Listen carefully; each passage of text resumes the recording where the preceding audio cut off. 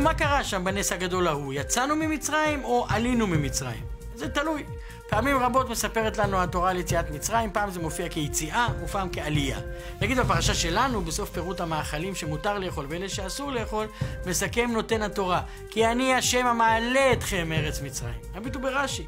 תנא דבר רבי ישמעאל, אלמלא לא העליתי את בני ישראל ממצרים בשביל שאין מטמאים בשרצים כמו מצריים וכנענים, דיים. איסורי האכילה תפקידם להעלות את היהודי, להעביר אותו לספירה גבוהה יותר.